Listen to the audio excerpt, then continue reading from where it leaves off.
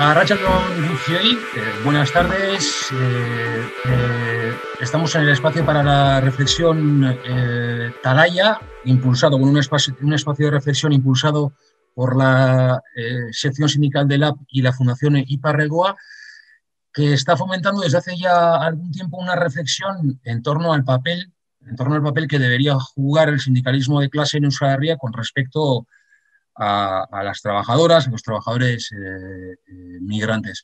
Un sector de, la clase trabajadora vasca muchas veces, bueno, digamos que invisibilizado, eh, no solo en nuestra área, en el que se entrecruzan multitud de opresiones y con el que, bueno, pues urge, por decirlo de alguna manera, tejer alianzas. la cuestión es eh, la cuestión es que el racismo, el, sexismo, bueno, pues intrínseco de una sociedad heteropatriarcal o, incluso las raíces coloniales del sistema capitalista actual, eh, occidental, dan lugar a esas realidades en el seno de la clase trabajadora vasca, realidades bueno, que desde hace ya décadas son palpables en Euskal pero que a veces han escapado a la acción eh, sindical por ser un terreno que quedaba fuera de ese bueno, de ese espacio tradicional, voy a decir, en el que los sindicatos desarrollaban su lucha y, por supuesto, bueno, lógicamente, porque el sistema económico vigente se ha encargado de que, así sea. Precisamente en ese contexto, eh, o es en ese contexto que desde, desde la Fundación, como decía, Iparregoa y desde el sindicato LAB, se plantea una reflexión partiendo de una base que en principio parece parece simple. Eh, la vida de las trabajadoras migrantes eh, es, según esta reflexión, el último eslabón de las desigualdades que genera el capitalismo.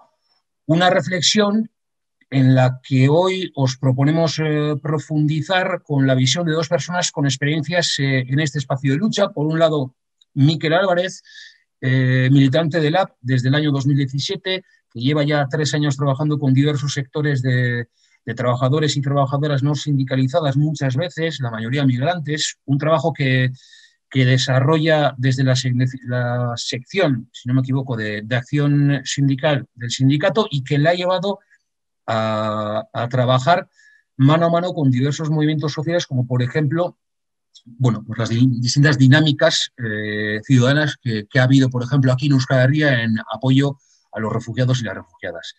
Y la segunda visión nos llega en este caso desde Andalucía y a través de Pastora Filigrana. Eh, ella es abogada sevillana especializada en derechos sociales, eh, ha trabajado en el movimiento asociativo gitano, en la Oficina de Derechos Sociales de Sevilla y también en el Sindicato Andaluz de Trabajadores, en el SAT. Eh, este mismo año, si no me equivoco, publicaba un trabajo, un trabajo titulado El pueblo gitano contra el sistema mundo, reflexiones eh, desde una militancia feminista y anticapitalista. Una abogada y activista andaluza que nos va a acercar a uno de los puntos, bueno, se podría decir uno de los puntos más oscuros, eh, opacos, eh, precarios de la Europa actual, de la Unión Europea, las jornaleras de la fresa en los latifundios de, de Huelva, trabajadoras en su gran mayoría marroquíes que viven y trabajan en condiciones de, de semi-esclavitud. Seguro que, que, muchos ya habéis leído sobre esa situación en, en, prensa, porque últimamente bueno, pues ha habido bastantes noticias al, al, respecto. Pero lo mejor es que tomen la palabra los protagonistas, así que, bueno, pues eh, os saludo. Miquel Álvarez, Arracha León. Buenas tardes. Arracha León. Y Pastora Filigrana, Arracha León. Buenas tardes. Un y Pastora. Buenas tardes. Pastor, voy a empezar, eh, voy a empezar por ti. Eh, antes de nada, me gustaría que nos dijeses o nos dieses, mejor dicho, una fotografía, una panorámica de esa realidad que mencionaba y en la que llevas tiempo ya eh, trabajando y, peleando. las trabajadoras, las jornaleras de la fresa los latifundios de, de, Huelva, de Huelva. Perdón. ¿Cuál es su, realidad? ¿Cómo la definirías o cómo la resumirías? Bueno, lo que ocurre en Huelva es una macroexplotación agraria que, sobre todo el fruto rojo, lo que trabajan allí y que durante tres meses al año pues, se necesita una ingente cantidad de mano de obra, más de 80.000 trabajadoras y trabajadores. Creo que la realidad de Huelva, que ahora voy a intentar hacer esa fotografía que, me pedí, eh, es interesante primero para denunciar bueno, pues una situación de, de abuso eh, laboral y de otro tipo, que derivan en otro, en otro tipo de abuso es interesante por conocerla, pero creo que a su vez es un ejemplo de cómo funciona la explotación, la sobreexplotación de la mano de obra migrante, buscando esos perfiles más vulnerables, cómo el capital busca estos perfiles más vulnerables, bueno, pues para abaratar el salario, ¿no? Y para incrementar eh, la ganancia mm, del capital. Por, por, eso digo que lo de Huelva es interesante porque se da en un espacio muy concreto una dinámica que sería como un mini laboratorio de cómo funciona el neoliberalismo a escala global. ¿no? Allí, como decía, lo que se da es una macroexplotación agraria a través de, los invernaderos, los plásticos que llamamos aquí, el cultivo bajo plástico, que durante tres meses, en la época de recolección, pues necesita muchísima mano de obra. También ocurre que los productores, los mm, dueños de la tierra, tienen muy poca capacidad de incidir en el, capital, en el beneficio que se llevan, porque casi todo el cultivo y los insumos pues forman parte de la estrategia de las multinacionales extranjeras. ¿no? O sea, ellos ponen la semilla, ponen el precio de la fruta, lo que, como el insecticida, bueno, todos los insumos. ¿Qué ocurre? La única variable que maneja eh, la patronal fresera es el salario. Hay que abaratar al máximo posible el salario para aumentar los beneficios. En un mundo racista, colonial y patriarcal, como decía Miquel en su presentación, si entrecruzamos eso, vemos que la mano de obra más barata son las personas que tienen mayor vulnerabilidad, que en este mundo son las personas que no habitan Occidente, son las personas migrantes, son las personas que no son blancas y principalmente las mujeres. Por eso allá donde miremos, veremos no solo en Huelva, sino que los trabajos más precarios, con menor reconocimiento social y salarial en el mundo entero, lo realizan mujeres del sur global, o mujeres que no habitan Occidente o mujeres no blancas. Lo que ocurre en Huelva es que cuando se necesita tantísima mano de obra, desde el año 2000 implementaron estos contingentes de contratación en origen con un requisito muy claro y es que las trabajadoras que se contrataran fueran todas mujeres, ¿no? con la idea de buscar, a mi parecer, este perfil más dócil, en el criterio patriarcal de la empresa, ¿no? más dócil que, la que aminorar la conflictividad sindical porque es un trabajo muy, muy duro y muy mal retribuido. El convenio es muy pobre y además el convenio no se, no se cumple. Desde el año 2006 la contratación es con Marruecos y vienen en torno a 15.000 mujeres marroquíes a las que se les exige estar casada, viuda y divorciada en su país de origen, pero sobre todo con hijos a cargo. Esto es un requisito sí o sí, porque el contrato, bueno, pues porque están buscando literalmente el perfil más vulnerable posible, el que menos se queje. ¿no? No voy a extenderme para seguir el debate, pero la macrorealidad de Huelva es más amplia porque también existen los asentamientos chabolistas, donde están los, trabajadores subsaharianos principalmente, en una situación a un escalón más bajo en esta escala de la vulnerabilidad, ¿no? porque viven sin agua, sin luz. Y también hay una población autóctona, que luego iremos viendo en el debate, cómo esos conflictos que quizá es la clave para nosotros, ¿no? la gente que intentamos crear sindicatos, esos conflictos entre la población autóctona jornalera, Andalucía es un lugar donde aún existe población autóctona que vende su fuerza de trabajo a cambio de un salario en el campo, estos conflictos entre la población autóctona y la población migrante que creo que es clave a la hora de dibujar este sindicalismo antirracista que, que hoy nos trae aquí. Ya, ya digo que es una foto que aparte de la realidad de Huelva, es cómo funciona el sistema mundo, ¿no? Abaratando lo máximo posible la fuerza de trabajo de determinadas personas según el cuerpo y el territorio que se habita y a partir de ahí, bueno, pues conseguir las grandes ganancias del capital. Yo lo dejo aquí para poder seguir en el, debate. Bueno, lo dejas eh, aquí por ahora, pero vamos a seguir profundizando en, todo eso. Es, eh, bueno, la foto o, parte de la foto del latifundio en Andalucía y de la situación de las trabajadoras eh, migrantes en Andalucía Miquel, en tu caso tú llevas ya más de tres años eh, bueno, eh, trabajando en el sindicato Lab con eh, trabajadores muchas veces no sindicalizados en una situación de vulnerabilidad o de especial vulnerabilidad por ser trabajadores y trabajadoras migrantes. También voy con lo mismo contigo, una panorámica me imagino que es complicado porque habrá un montón de realidades diferentes. Luego ya iremos, indagaremos en algunas de ellas, pero ¿cuál es la situación de, esos trabajadores, de esas trabajadoras en Euskal? Y no sé si podrías eh, bueno, pues englobar algunas eh, características eh, comunes de, esa parte de la clase trabajadora.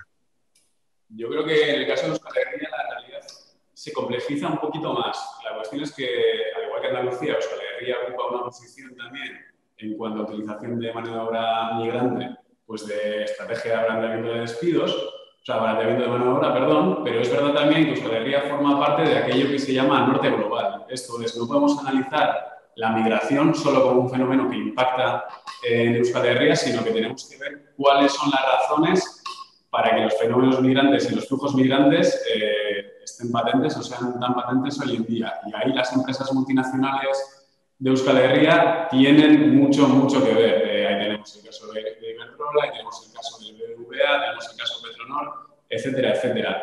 ¿Por qué digo esto? Porque muchas veces, tanto desde el sindicato o desde otros movimientos sociales alternativos o políticos, vemos como eh, la realidad de una empresa multinacional o, las trabajadoras del hogar son realidades muy diferentes y son realidades que al contrario están profundamente conectadas y forman parte de las cadenas de producción y redistribución y reproducción eh, globales. En el sentido en el que ha dicho Pastora, eh, la motivación de los, de los flujos de, migración tienen, eh, tiene ese origen, pero es verdad que tenemos que analizarlo en tres, en vectores. Por un lado, el origen, como he dicho hasta ahora, eh, por otro lado, el tránsito de esas personas migrantes, eh, qué, vulneraciones de derechos sufren hasta llegar aquí, y luego la situación que viven en destino. Esto es, qué situación eh, viven en Euskal Herria, que sería un poco más la pregunta que, has efectuado. tenemos que recordar que el 28% de la población de Euskal Herria actualmente ha nacido fuera de Euskal Herria. la migración es un fenómeno muy extendido y patente en nuestro país. Y es verdad que la situación jurídica o legal eh, es bastante parecida y homogénea en todo el Estado español, porque las leyes sobre extranjería eh, nos afectan por igual, tanto en Andalucía como en, Euskal Herria. Pero es verdad que la precariedad, laboral eh, tal vez adopta diferentes formas en cada, en cada rincón. en, Euskal Herria, diría que, que la fractura entre trabajos, entre comillas, cualificados y no cualificados es muy, muy grande y las personas migrantes se ven abocadas en muchísimas ocasiones a, desarrollar su actividad profesional y laboral en esos trabajos no, no, cualificados.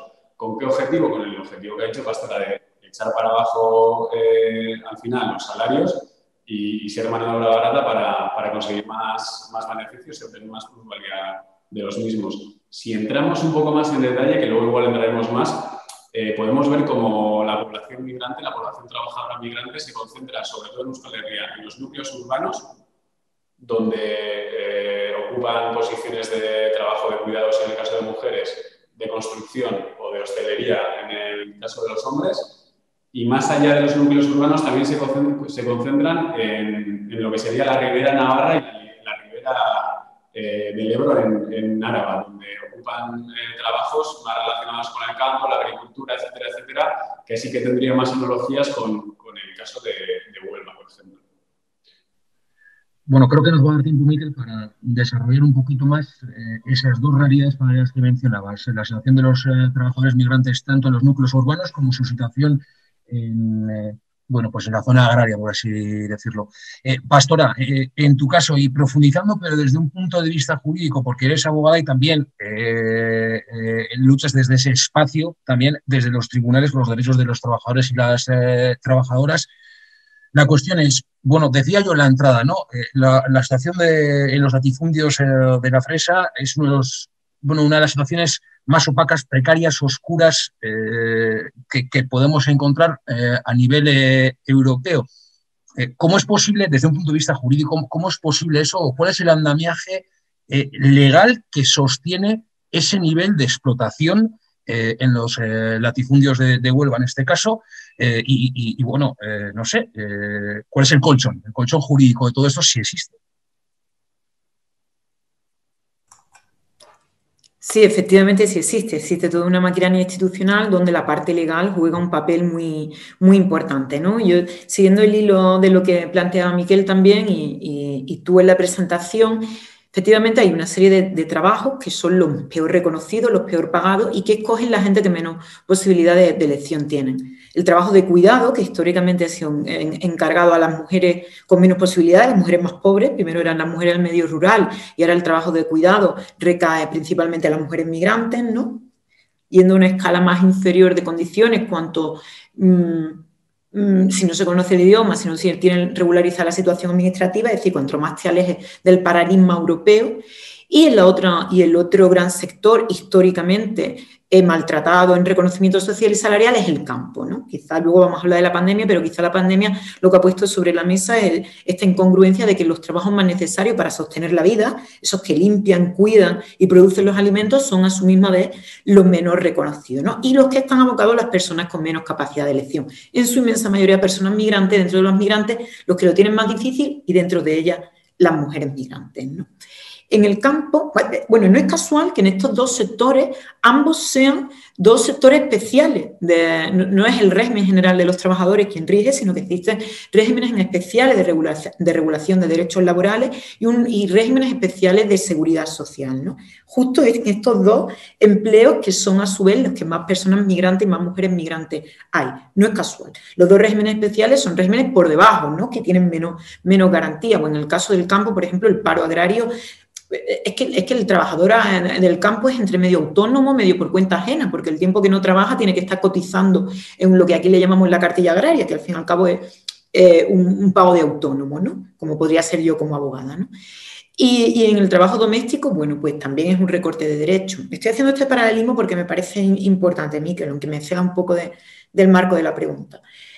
Mm, no existe el desempleo, en el caso de las cuidadoras, el desempleo agrario es muy bajo, requiere muchas peonadas, mucha, mucha eh, demostración de días trabajados, lo cual no es fácil cuando se trabaja por campaña y tan supeditado a la temporalidad del campo. Yo creo que esto es básico, pero sobre todo el andamiaje legal que más posibilita la sobreexplotación de los trabajadores migrantes es la ley de extranjería, es la normativa que, la espina dorsal de esta normativa es que vas a ser sujeto de derecho en tanto en cuanto tengas un contrato laboral, en tanto en cuanto seas productivo para el sistema. Entonces serás sujeto de derecho con reconocimiento de la plenitud de los derechos sociales. Esta criba que hace la ley de extranjería entre eh, regularización y no regularización, yo creo que es el andamiaje principal que posibilita la explotación a la patronal de los trabajadores migrantes.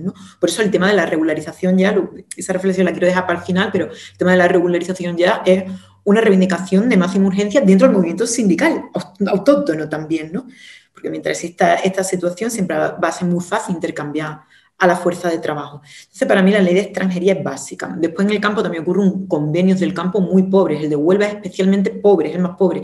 Eh, del Estado no llega ni siquiera al salario mínimo actual, estamos unos céntimos por debajo, y posiblemente es porque las grandes centrales sindicales que no, han tenido un especial interés en el campo, la conflictividad en el campo es baja porque son perfiles de trabajadores y trabajadoras muy vulnerables, es muy difícil montar conflictos colectivos, eh, al menos en Huelva, en Almería también cuesta, y esto hace, bueno, pues que los convenios sean bastante pobres. Yo creo que entre la ley de extranjería, estos regímenes especiales de la seguridad social y los convenios sería el marco jurídico que posibilita esa, esta sobreexplotación que, que preguntaba Miquel.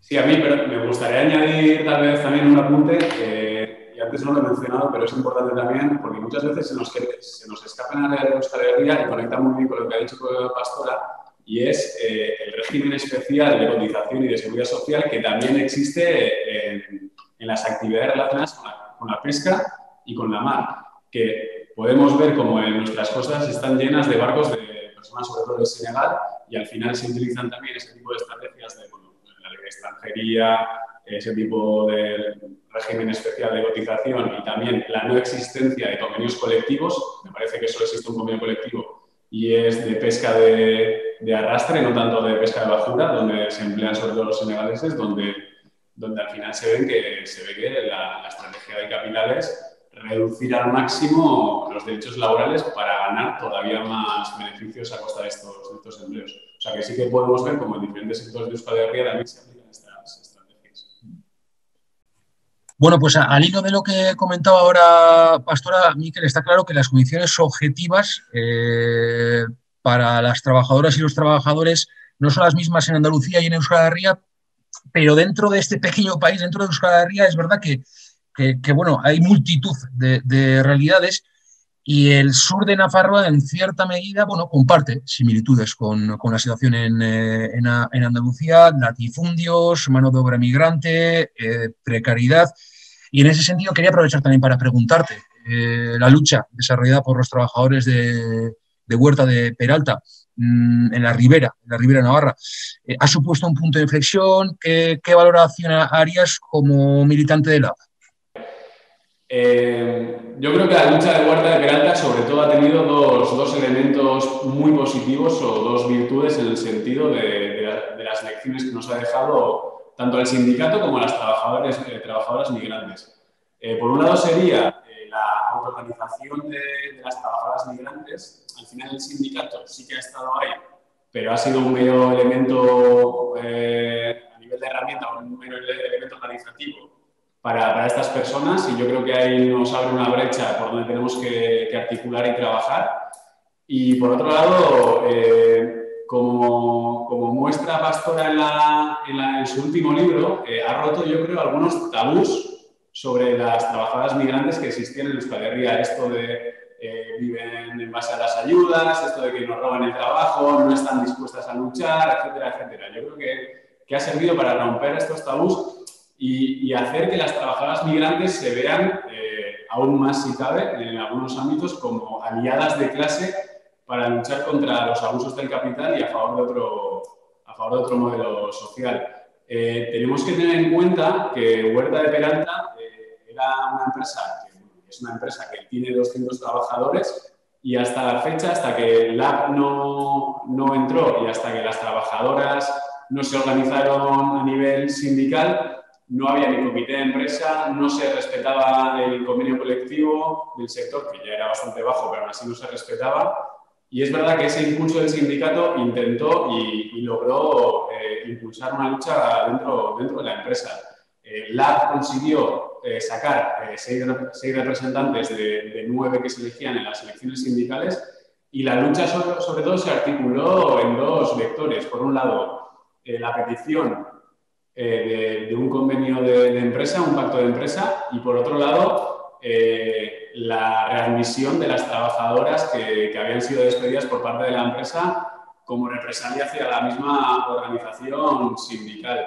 Eh, como he dicho antes, yo creo que fue una lección de dignidad que, las trabajadoras migrantes nos, dieron tanto a todos la Herria como al sindicato y, más que la lucha en sí, que yo creo que fue muy potente, valoraría, como he dicho antes, el pozo que dejó encima de la mesa. Es verdad que ha servido como revulsivo para reforzar y, seguir en la brecha en otros sectores que también estábamos trabajando, como, puede, como pueden ser, como he dicho antes, eh, los sectores de la pesca, las trabajadoras del hogar, las personas manteras, las vendedoras ambulantes que están en nuestros ciudades, etcétera, etcétera no tanto porque existan analogías en la materialidad de la, lucha, sino por el tipo de organización sindical, el tipo de acción sindical, el tipo de conjugar también la organización sindical y las comunidades donde se organizan estas personas migrantes, yo creo que ahí nos dejan bastante, bastantes lecciones de donde tenemos que tirar y aprender todavía más.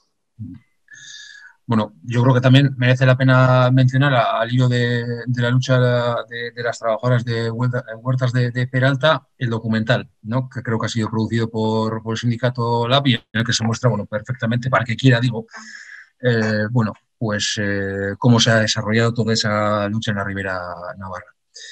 Eh, Pastora, voy contigo, pero mm, digamos que vamos a abrir un nuevo espacio en esta reflexión que estamos haciendo o que estéis haciendo de manera conjunta, eh, porque, bueno, eh, debido a, la pandemia, el COVID-19, digamos que, que, hay un nuevo condicionante sobre, sobre la mesa y querría preguntaros también eh, eh, sobre esto. Eh, Pastora, en el caso de las trabajadoras de la FERSA en, el latifundio andaluz, todo esto, digo, la pandemia cómo ha afectado, porque uno pensaría en principio, teniendo en cuenta que se cerraron las fronteras, que este año no se recogía la fresa, pero no ha sido así exactamente. ¿Cómo ha condicionado todo esto a, las trabajadoras de, la FERSA? Bueno, pues efectivamente, como, como decíamos, el COVID lo ha cambiado todo, acelera muchos procesos y eh, yo pues, la parte positiva que veo es que ha puesto sobre la mesa muy claramente, blanco sobre negro, bueno, pues reivindicaciones que venimos manteniendo desde hace tiempo, ¿no? Sobre todo en la cuestión del campo. Lo que ocurrió, la campaña de la fresa es de marzo a junio y coincidió exactamente con el confinamiento estricto y el cierre de fronteras. Lo que ocurrió en este país es que al cerrarse las fronteras no pudieron venir gran parte de la mano de obra migrante. Las trabajadoras marroquíes, que se preveía que vinieran 15.000, vinieron la mitad, pero también otros muchos trabajadores migrantes que se desplazan al Estado español para, para, las campañas de recolección de, en primavera. Y el gobierno se vio con un problema, pues porque faltaba mano de obra. Esto yo creo que nos debe de llevar a reflexionar que estos discursos de la ultraderecha de que los extranjeros sin papeles sobran, pues no es verdad, porque los extranjeros están creando riqueza, eh, los extranjeros con papeles, sin con y sin papeles están trabajando en el campo y resulta que cuando no están y no vienen, pues tenemos un importante problema. En Huelva también ocurrió que las trabajadoras no pudieron retornar de manera normal cuando terminó la campaña en junio porque aún seguían cerradas las fronteras de Marruecos. Y, ahí también otra reflexión política importante es que se quedan en una situación, en un limbo completamente, porque a pesar de estar, contratadas, estas mujeres vienen contratadas y, cotizar, bueno, pues no tienen acceso a prestaciones de desempleo, o sea que se quedaban aquí en la absoluta pobreza, ¿no? Y fueron varios miles de mujeres que durante un mes fueron de forma escalonada volviendo a Marruecos como se pudo. En Huelva otra situación muy dura que dio el COVID es el confinamiento en los asentamientos chabolistas. En torno a 2.000 trabajadores temporeros migrantes viven en estas chabolas sin luz y agua. La consigna de quédate en casa cuando vives en una chabola sin corriente eléctrica y sin agua, bueno, pues te está condenando a la mayor de, las precariedades.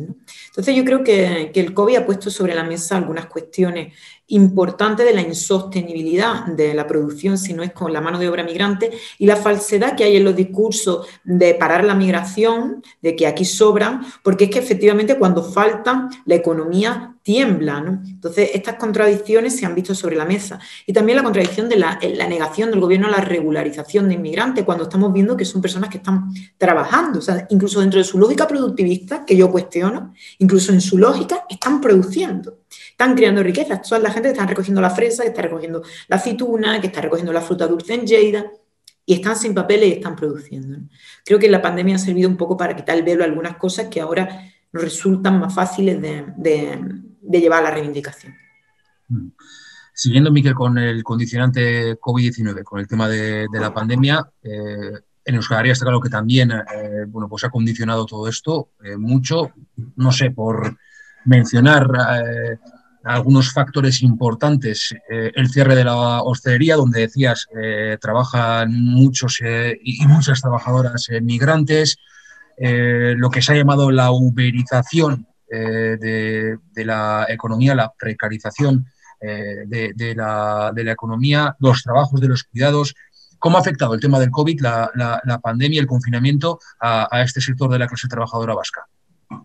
Sí, yo creo que la, pandemia al final ha sido un túnel de velocidad donde el mogollón de procesos se han acelerado y se han acentuado. Y en ese sentido, las trabajadoras migrantes también forman parte de, esa realidad.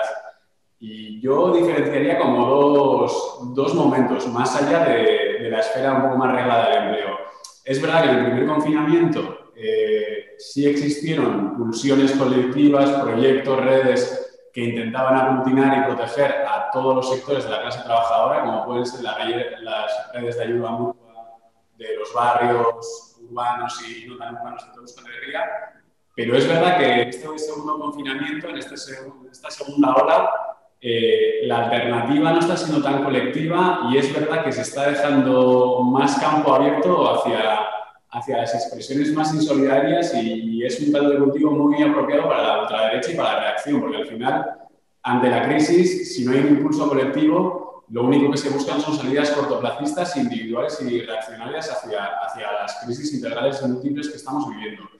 Y ya, eh, aterrizándolo un poco más, en la esfera de las políticas públicas, yo creo que se ha visto muy, muy claramente que, que en ningún momento las personas migradas y las personas trabajadoras migrantes han estado en el centro de las políticas públicas. Si atendemos a las diferentes medidas adoptadas por el gobierno español y por el gobierno vasco también, podemos ver cómo se les ha dejado fuera sistemáticamente de estas medidas. Por ejemplo, en los ERTES. Los ERTES es verdad que han supuesto una cobertura para, para, las trabajadoras un poco más precarias, pero los primeros empleos que se destruyeron fueron aquellos empleos que no tenían un contrato arreglado o que trabajaban, entre comillas, sin negro o también eh, aquellos contratos que expiraban de plazo durante, durante la pandemia. Esos contratos no han sido renovados.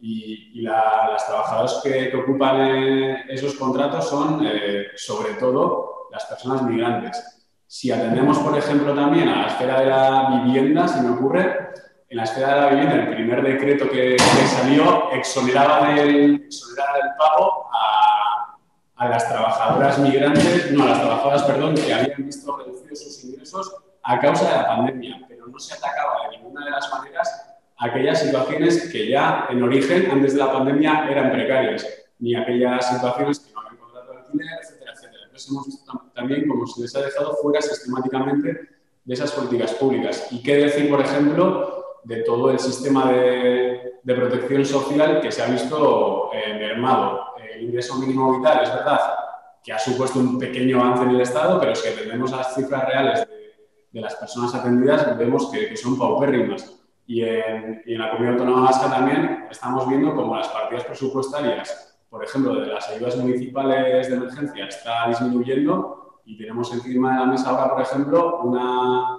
una reforma legal de la, de la RGI que va a atacar precisamente la cobertura, la mínima cobertura que, sostenía un poco las vidas de estas personas más vulnerables. Entonces, en definitiva, podemos ver cómo no han estado, las personas migrantes no han estado en el centro de las políticas públicas implementadas, ni en el empleo ni fuera del empleo. De todas maneras, Miquel, eh, últimamente eh, también ha habido pequeñas victorias. El año pasado, si no me equivoco, por ejemplo, Inspección de Trabajo y Seguridad Social de, de Vizcaya determinaban que los trabajadores de, de Globo eh, son falsos autónomos. Y esto es una cuestión que lleváis, un asunto que lleváis tiempo peleando, ¿no? Sí, llevamos peleando desde hace más o menos dos, tres años, tres años más bien, desde que este tipo de empresas entraran en nuestra ciudad. Y muchas veces se nos olvida que, que la, los sectores de la economía que han sufrido procesos de uberización también son, por así decirlo, la cara más precaria de, de toda la revolución tecnocientífica que, que, se está dando últimamente.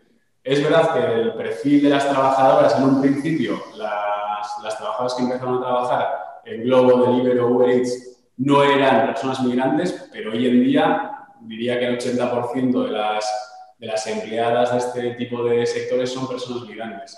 Ahí la victoria que se ha obtenido es que por fin, tanto Inspección de Trabajo y, y la sentencia del Tribunal Supremo ha reconocido que estas trabajadoras son falsas autónomas. Esto es, que existe una relación laboral entre la empresa y las trabajadoras. No son, estas empresas no son, eh, no, no, hacen un acuerdo mercantil de, de, igual a igual con las trabajadoras, sino que existe una, una relación de subordinación, de organización de, del empleo, etcétera, etcétera. Entonces, diría también que si queremos atacar los eslabones más, más débiles de, de la cadena este tipo de empresas, este tipo de, de fenómenos eh, en cuanto al empleo tienen que ser eh, atacados. Siempre sabiendo que la uberización es un fenómeno cambiante y dialéctico, porque es, al final es la estrategia por, la, por el cual el capital quiere obtener más rentabilidad, pero es verdad que es una pequeña victoria y que nos marca el camino. Bueno, para ir eh, terminando en la tercera y última parte de esta reflexión, entrevista eh, a, dos que, estáis eh, haciendo, primero nos dais esa, esa fotografía panorámica, de, después hemos hablado eh, bueno, un poquito más en profundidad de cómo ha condicionado la, la pandemia a, estos sectores de trabajadores y, trabajadoras. Y para terminar, bueno, pues me gustaría ir, ir al meollo de la cuestión, por, por así decirlo, ¿no? Eh, que compartáis con nosotros esas reflexiones en torno a los retos eh, del sindicalismo de, clase en relación con los trabajadores y las trabajadoras eh, migrantes. Y las preguntas van a ir en este caso para los dos, no tanto de uno eh, a otro, sino para los dos. Me gustaría que, que si queréis, bueno, com complementéis la respuesta de, del compañero o la compañera y por empezar desde un punto de vista autocrítico, a vuestro parecer, Pastora, si quieres, eh, empiezo contigo, a, tu parecer, ¿cuáles son las carencias del sindicalismo eh, en este ámbito de, de, lucha? O dicho de otra manera, ¿por qué los sindicatos no han sido eh, una herramienta útil o accesible para los trabajadores migrantes durante demasiado tiempo? Bueno, yo creo que esto es una gran pregunta y creo que, es un debate constante en nuestros espacios sindicales. Yo soy miembro del Sindicato Andaluz de Trabajadores y Trabajadores muy activa, a pesar de que, que apoyo otro, otro sindicalismo autóctono, autónomo perdón, como el de las trabajadoras del hogar o las jornaleras. Es una gran pregunta que, estamos debatiendo en la práctica. ¿no? Yo, tengo, una hipótesis, aunque podríamos hablar de, muchas otras, que creo que el modelo sindical en sí mismo está algo caduco y habría que reinventarlo. Y ya no hablo solamente del desprestigio social que pueda tener el sindicalismo por estas grandes centrales sindicales, ¿no? tan cercanas a la patronal y, burocratizadas, jerarquizadas y bueno, muy alejadas del paradigma de la horizontalidad o del feminismo que abogamos. ¿no? Ya no solo por eso, sino porque nuestras propias fórmulas sindicales pertenecen a un mundo donde quizás la estabilidad en el empleo era mayor. Había un centro de trabajo durante mucho tiempo, si no toda la vida, muchos años de tu vida, estabas en el mismo centro de trabajo con tus compañeros. ¿no? El propio modelo de secciones sindicales que aún manejamos está pensada eso, un, trabajo muy estable tanto en el espacio como en el tiempo. Lo que estamos viendo es que las nuevas fórmulas del trabajo, y ya no solo la, la forma de la desregularización que viene, que todavía es más, sino la actual hay muchísima movilidad. O sea, alguien está en el metal o están en, oficios varios o, en qué sección sindical lo, encajamos. Si quizás en los últimos dos años o incluso en un mismo año ha tenido varios empleos de diferentes sectores. La población migrante es una población móvil hay que saber que, en este país hay, por ejemplo, en el tema del campo, calculamos que hay como 4.000 personas, si no más, porque no hay datos, que se mueven continuamente en una ruta temporera y viven nómadas, ¿eh? de Lleida a Almería, de Almería a Huelva, de Huelva a Lajo en, en Castilla, o sea que se mueven. Entonces, la temporabilidad de los empleos en el campo y en otros sectores, el intercambio, la precarización de la mano de obra que, migrante que puede estar en un lugar y en otro la vez dificulta la sindicalización. Pero no solo la mano de obra migrante, sino yo creo que todos los, los trabajos precarios lo que nos llevan es que el modelo sindical no casa. Con las nuevas fórmulas de desregulación que llegan, digo nuevas porque sectores como el que hemos hablado aquí del campo, los cuidados, incluso la pesca que decía Miquel, son sectores ya desregularizados históricamente. ¿no? Ahora viene una nueva desregularización con el trabajo de plataforma, con, la uberización de la economía que le llamamos. ¿no? ¿Cómo te organizas ahí? Cuando yo discuto esto con las riders que se están organizando, que han tenido la conquista de esta sentencia del Tribunal Supremo, ¿cómo te organizas cuando no hay patrón, no hay centro de trabajo, no, hay, no te ve, no, existe compañerismo. Hace unos años tenían un pequeño centro de trabajo los Riders cuando vio la, empresa que, funcionaba mal porque resulta que se conocían, se juntaban y, empezaron a organizar huelgas. Ya directamente la forma de trabajo es sin centro de trabajo en sí mismo, ¿no? con la idea de romper estas redes de solidaridad que crea el sindicalismo. Entonces, claro, yo creo que tenemos el reto de reinventarnos, ya no solo para la población migrante, sino para el resto. La población migrante lo que pasa es que ocupa estos lugares de mayor precarización y mayor movilidad, por eso tenemos este, este especial problema. Yo creo que, las pistas, no, tengo una respuesta clara, pero lo que estamos construyendo tiene que ir un poco por ahí, ¿no? por, por imaginar esas nuevas máquinas de guerra sindical.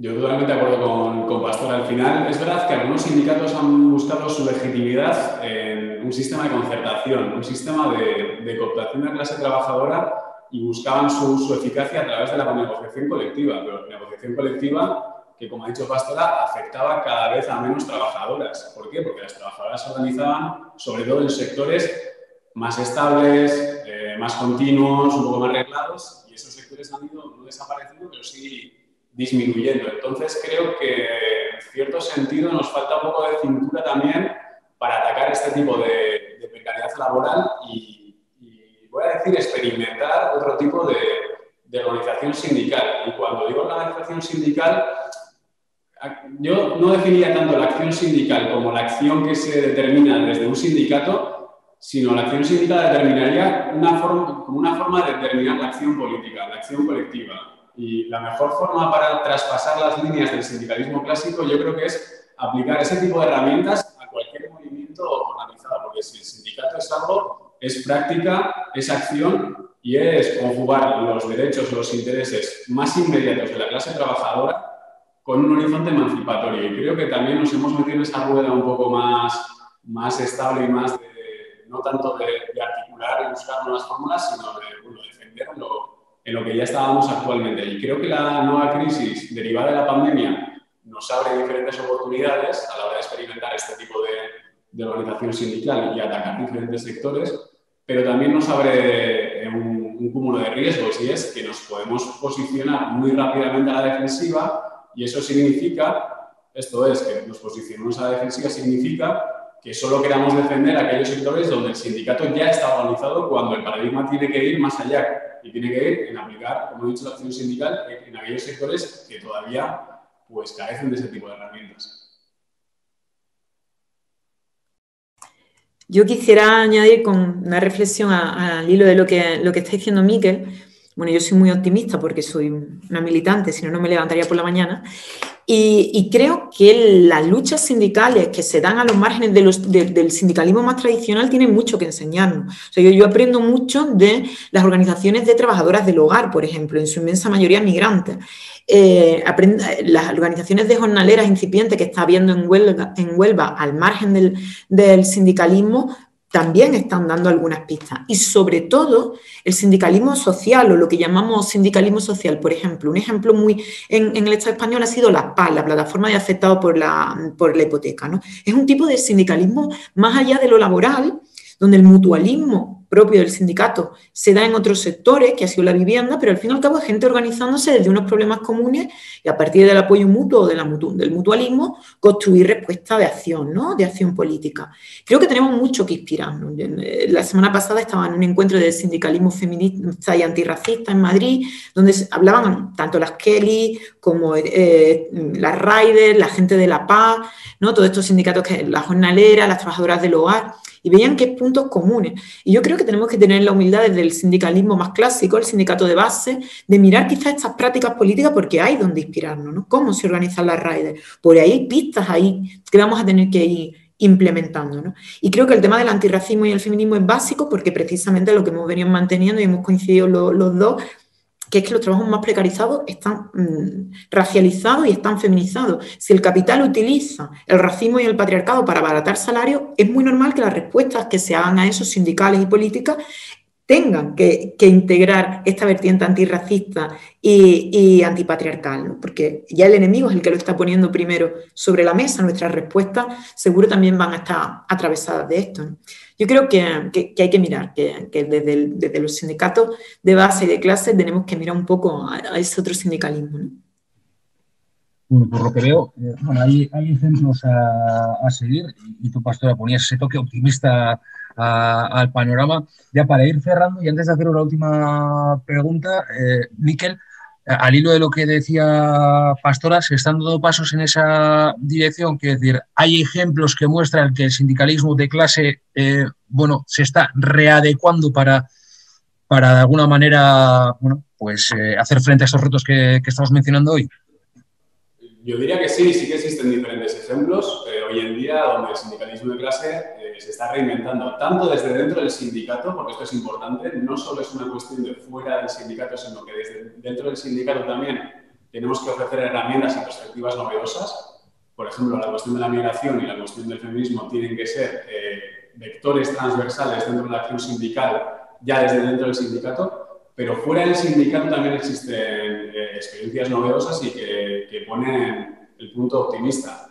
Como he dicho anteriormente, las trabajadoras del hogar se están organizando, las redes también se han organizado, el sindicalismo barrial, por ejemplo, en Euskal Herria, yo creo que también está viviendo un auge. Por ejemplo, eh, durante el último confinamiento eh, se han creado muchísimas experiencias de sindicatos de inquilinas en Euskal Herria, cosa que es bastante novedosa y no, y no creo que sea una realidad eh, aparte, una realidad alejada del sindicalismo clásico, sino que tenemos que buscar puntos de unión. Y en ese sentido sí que hay, sí que hay elementos para la esperanza. Quería apuntar también otros, otros elementos y sería también eh, la cuestión de, entender el sindicalismo o el sindicato como una organización porosa.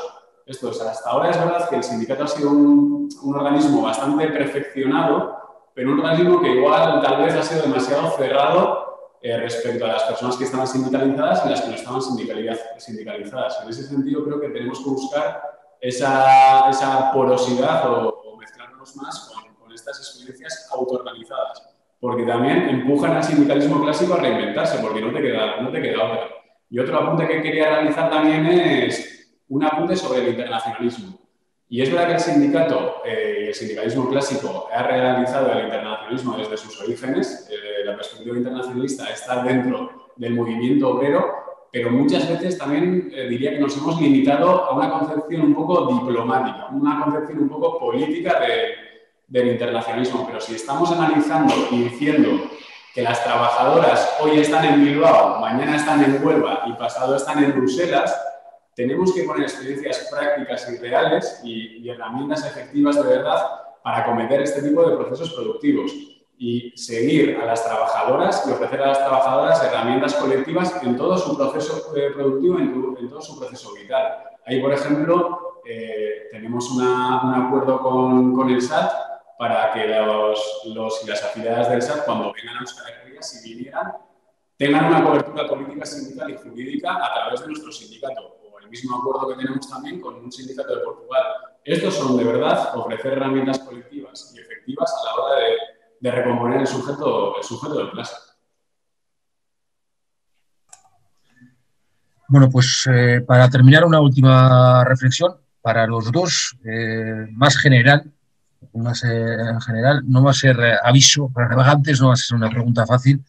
en un momento de, ofensiva como el que estamos viendo, de ofensiva del capital, de, profunda crisis y, y, de auge también de la extrema derecha, los migrantes están siendo, bueno, como suele ser habitual, eh, el chivo expiatorio, por así decirlo, ¿no? En muchos casos, en muchos casos eh, bueno, pues eh, la excusa sobre la que se vierten todos los problemas o, las causas, mejor dicho, de, del problema. Y ante este panorama, bueno, tú al inicio de la entrevista, Pastora, lo mencionabas, ese, dualismo que hay que superar en el campo, trabajador autóctono, trabajador migrante, apuntabas por ahí al inicio de la charla, Digo, ¿cuál debería ser la aportación del sindicalismo para hacer frente a todo esto que, estamos sufriendo ya, ya hoy en día? ¿O, qué puede ofrecer en ese campo de, batalla eh, el sindicalismo? Pastoral.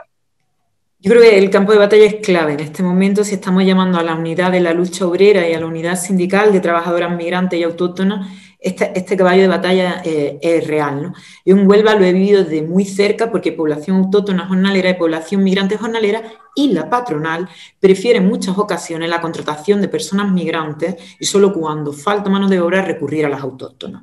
Y esto es una realidad porque algunas veces cuando queremos combatir lo de las personas migrantes nos quitan el trabajo, bueno, quizá en algunos escalones más bajos eh, bueno, más bajo porque así lo pone el capital, ¿no? En algunos sectores más precarizados es cierto que se da esta competición. Lo que a nosotros nos toca es poner, es señalar dónde está la causa de esta competición. La ultraderecha, y en Huelva ocurre, agita, bueno, pues los extranjeros vienen a quitarnos el trabajo y a enfrentar la clase, la clase autóctona con la clase obrera extranjera. Lo que se está intentando hacer desde el sindicalismo de clase es dirigir, el problema no lo negamos, pero dirigir el dedo al verdadero culpable, que es la patronal, que le interesa abaratar los costes salariales cogiendo a las personas más vulnerables. Y, eso es el por qué contratan antes a personas migrantes que personas autóctonas. Y que el enemigo, al fin y al cabo, es la avaricia de la patronal de hacer este tipo de, de técnicas. Es muy importante mantener estos discursos porque frenan discursos de odio y la verdad que mejor o peor en Huelva este año se, han hecho, ¿no? Se, han podido hacer y han sumado mucha solidaridad. Ha crecido mucho los colectivos de jornaleras, de población autóctona, incluso solidarizados por la especial circunstancia que la pandemia estaba, estaba trayendo. Yo para, terminar, ya lo he apuntado en alguna parte de la entrevista, pero me parece muy importante que el sindicalismo de clase asuma la reivindicación de la regularización ya como propia. Hace una anécdota rápida de 30 segundos y... Eh, Estuve en el Ejido, bueno, el SAT en el Ejido es muy, si tienen oportunidad ustedes de conocerlo, vean esa sede del SAT en el Ejido, porque quizás la hipótesis que estamos aquí manejando ya está allí materializada. Las personas sindicadas en el SAS son en su inmensa mayoría personas magrebíes y, subsaharianas, son quienes lideran la lucha sindical. Elegido en, Almería, bueno, pues ya saben que es este, este trabajo de macroexplotación agrícola de, invernadero. En una de las organizaciones, para una marcha por la regularización ya, bueno, pues alguien del sindicato dijo que vale, que le iban a apoyar, que el sindicato iba a apoyar esta marcha, por supuesto, pero que también empezáramos a hablar de cuestiones laborales como que el convenio no se está cumpliendo y que montemos también acciones para que se cumpla el convenio en los TAS. Yo creo que esto es un error. Y son mis compañeros y yo también estoy dentro de... Creo que es un error. O sea, no está la cuestión de la regularización ya y la cuestión de que se incumple el convenio. No son dos cuestiones. Es una única cuestión. El incumplimiento del convenio, la precarización de las condiciones laborales existe de una manera impune para la patronal porque existe una mano de obra muy vulnerable que, con la que se reemplaza fácilmente a los trabajadores que aumentan la conflictividad sindical o plantean reivindicaciones laborales. Entonces, mi reflexión última en este espacio es, mientras existan bolsas de, trabajadores en situación de vulnerabilidad. Ninguna lucha sindical en estos sectores va a triunfar porque cada vez que montemos una lucha y consigamos reivindicaciones, esos trabajadores y esas trabajadoras van fuera y son fácilmente sustituibles por personas que trabajan más, por menos, por el miedo continuo a la expulsión y por la falta de materialidad digna de la vida, ¿no? porque vives en chabola, porque no tienes agua, porque no tienes luz. Por lo tanto, tiene que ser una reivindicación mm, sindical de primer orden el tema de la regularización desde mi experiencia profesional y política. Creo que el sindicalismo de clase, la mejor aportación que puede hacer en esto es sumar esta causa como, como una más. Y estoy segura que, que estamos en ello. Mm, desde luego, en el Ejido y en Almería es muy palpable. Invito a que veáis esas movilizaciones en Internet en el campo de Almería, esa mezcla de migrantes y autóctonos. Así que sí que es posible y además creo que, que es, la, que es la única salida para conseguir ese contrapoder de fuerzas que en este momento necesitamos para, para la ofensiva neoliberal y el paquete de, de, medidas de recortes y de precarización de la vida que, que traen bajo el brazo. Miquel, terminemos contigo. Sí, totalmente, totalmente de acuerdo con lo, que, se ha comentado. Sí que añadiría que creo que, que la mejor receta contra el fascismo muchas veces no es el antifascismo, aunque, hay que haya, aunque haya que practicarlo, sino la recomposición de clase, en el sentido que ha dicho Bastora. Tenemos que, que solventar, que tenemos que superar estas heridas que existen en el sujeto de clase, pero no desde un discurso que, que supere todas estas contradicciones, sino desde una práctica que de supere todas estas divisiones. Y en ese sentido la petición de la regularización ya es clave, porque al final eh, equipara o al final intenta poner encima de la mesa eh, todos los derechos para todas las personas y al final sería un poco el suelo colectivo, el mínimo de, común denominador para cometer después o para cometer en el mismo momento, como ha dicho Pastora, mejoras salariales, mejoras laborales y mejoras en, nuestros centros de trabajo. Y creo que también eh, el sindicalismo tiene que participar todavía más en ese debate político a la hora de articular eh, un horizonte emancipador y un horizonte político que sea a la vez viable, pero a la vez ambicioso para superar todos estos retos que nos han puesto encima de la mesa la crisis derivada de, de la pandemia. Pues con esto vamos a terminar eh, esta charla interesantísima en torno a los retos del sindicato de clase. Eh, ha sido un placer y, esperemos que vuestras reflexiones no caigan en, saco roto. Miquel Álvarez y Pastora Filigrana, eh, es que ricasco, muchas gracias y, y un abrazo. Hasta la próxima. Es que ricasco, Zoe.